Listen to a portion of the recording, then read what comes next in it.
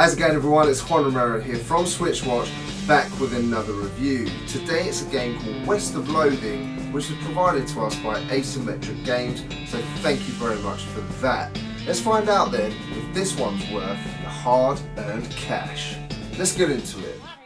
Asymmetric's first project was a game called Kingdom of Loathing, which was a browser based MMORPG. It built up a community of over 1 million players worldwide and has become a cult classic over time. It was therefore really exciting to see what Asymmetric could do next, as both of these games have a very similar style.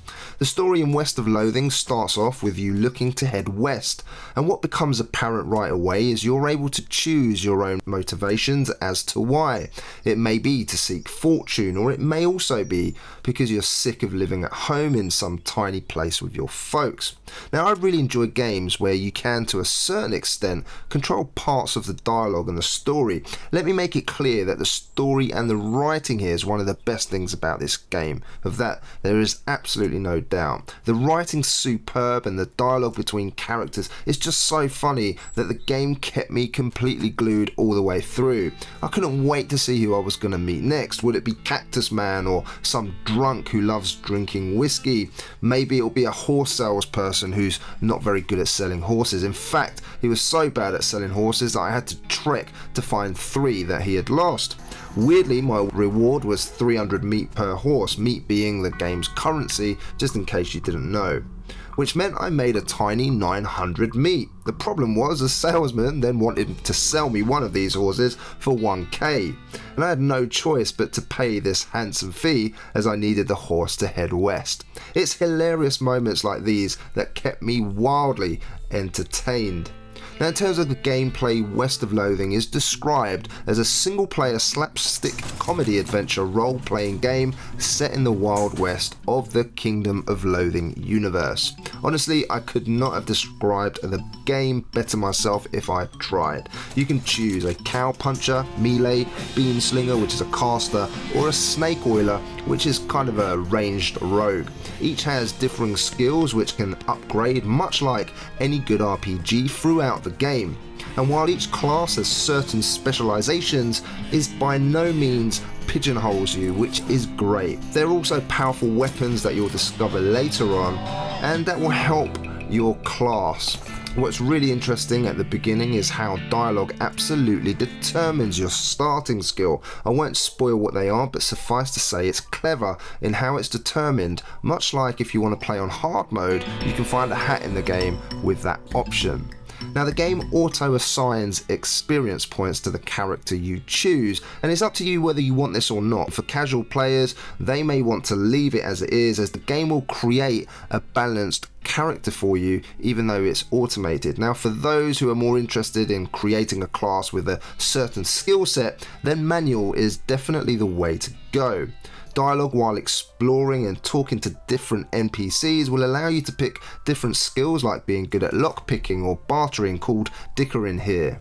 As you traverse through each area, which there are nearly 100 unique ones, you'll speak to NPCs and have a range of different dialogue options. Make sure you read the dialogue properly because it could be really important to solving a mystery or acquiring a key item.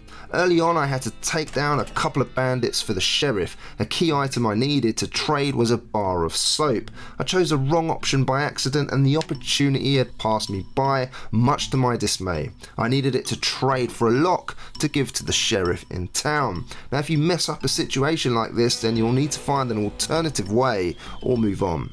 Be aware that once you leave the first area on your horse you can't return so make sure you cover as much as possible. Now the game is full of puzzles and mysteries to solve and I absolutely loved this part. I couldn't get enough of it. I needed to find a needle for example to perform a certain task and without giving too much away I found it in a funny place. Afterwards you'll get that light bulb moment and know exactly the type of humour this game is going for. I think the game may be a step too far for younger children to understand all of the jokes, goofball gags and such but for everyone else this will appeal to your inner child such is the hilarity of it all. The puzzles are really fun, they're not too difficult, but they're not too easy either, and it will just remind you that you need to sort of read the text because the clues are always there. There are quests which handily come up with the location on the map.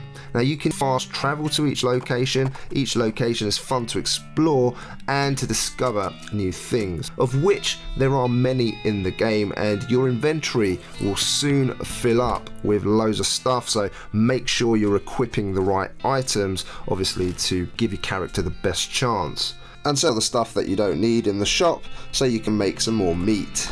Now travelling from place to place often gets interrupted due to enemy battles or treasure to dig up amongst other things. As you progress abilities can be furthered by reading books which leads me nicely onto the battles. Battles unfortunately for me anyway are by far the weakest part of this game. Each fight is turn based and it's all simple stuff, choose your gun, take a shot and your enemy's HP will reduce. They take their turn and try to reduce your HP, so on and so forth until one is left standing. Now dependent on the class you choose and the skills that you excel at, there is a lot of variety within the enemies also from poisonous snakes to guys with sniper rifles, cows, skeletons, all sorts which you can take down. Later on obviously when you meet a partner in the game it becomes a little bit more tactical. Now I like melee so I was going in with the punches. I shot my pistol every now and again but casters will do damage from afar. It's all really simplistic stuff and was the part of the game I think I least enjoyed. That is saying a lot though about the quality of the game elsewhere. Later on it does get a little deeper which gives you more options in how you approach each attack so it does get better and more challenging. Abilities in some fights will play a significant part in your success or failure. I can't tell you the amount of times I got out of trouble with just lobbing a stick of dynamite at the enemy. If you do die, you get to try again, so it's not all doom and gloom.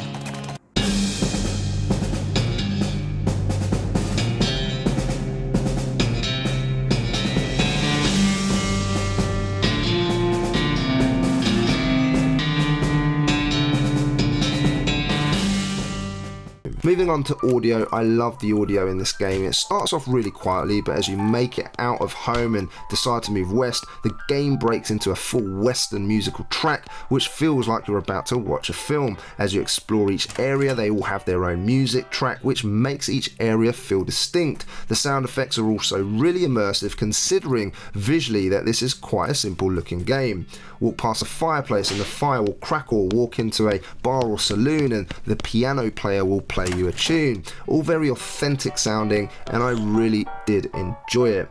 In terms of visuals and performance then let's be honest, at first look of this game you may not give it a second glance but to do so would be a major disservice. While the game is fully drawn in black and white, everything has a surprising amount of detail to it. I loved walking into a saloon purely because of everything that's going on and there's always little details to look for and clues to pick up within the game which are drawn superbly well. Number of times times I stepped in cow poop, for example, just made me laugh. No idea why, I'm not a child that finds toilet humour funny at all. Nope, that is not me at all. Alright, I have a confession. I find it all tear-inducingly funny. Now, I think it's great that we can play an indie game like this and it can have really nice, simple, hand-drawn feel, but be something you end up loving. It's really charming and everything comes together to make a very well-formed package. In a day where graphical fidelity seems to be everything, I'm really pleased to see games like this which are able to make an impact. Now, of course, in terms of performance, this does not push the Switch at all, so I'm glad to say there's no slowdown. So in terms of value then, the game is worth the cash. It's as simple simple as that. It's 11 bucks and you get a wealth of content and the game which will last you around 8 hours in the main campaign. It will double that if you are a completionist. It's a game you'll want to play again with different classes as the game can play out differently depending on which you choose. You may have missed certain things the first time around, it's such a great adventure that I'd gladly play a game without hesitation and that really is the best compliment. So in summary then, West of Loathing is one of those games that you go into not expecting much at all. My only previous experience of it was seeing it at EGX and I was watching someone else play. I thought it looked okay but I didn't give it that much thought after that. I went into it totally cold, expecting very little. This has taught me a valuable lesson yet again never to judge a book by its cover. The game is rich with content, has an excellent and humorous story which will keep you entertained all the way through with great little brain teasers. The only slight letdown for me are the battles, but it's not even that big a deal as this has so much more to offer. Do yourself a favour and pick this one up because it's one of the best little games on the Switch and one I will not hesitate in recommending. An 8.5 out of 10. Now guys, as always, if you enjoyed this review then do me a favour, hit that thumbs up button and let me know how much you loved this video. For those of you that are new here, we do plenty of game reviews like this one, hopefully nice and detailed for you and if you like that then why not consider subscribing to our channel? We'd love to see you again on the next video. And also if you've played this game on another system or you're looking forward to it let me know what you think in the comments section down below. I would love to hear from you. My name's Juan Romero from Switchwatch.